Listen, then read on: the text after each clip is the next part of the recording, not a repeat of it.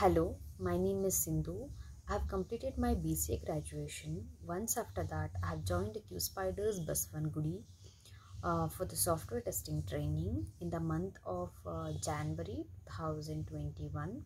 I've started with the manual and SQL training, and uh, now I have got placed in an DXC company.